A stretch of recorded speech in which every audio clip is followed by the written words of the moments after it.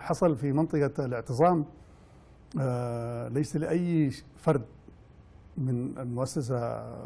أو من أعضاء المجلس العسكري كل أعضاء المجلس العسكري ليس لديهم أي علاقة بهذا الأمر. نحن على علم بذلك ودراية وتأكد أن التخطيط والتنفيذ آه، تم كانت معنية به منطقة معينة. وما حدث آه، تحقيق جاري لأجله لكن أنا على ثقة أنه كل أعضاء المجلس العسكري ما في زول لا في زول وجه ولا في زول خطط ولا في زول نفذ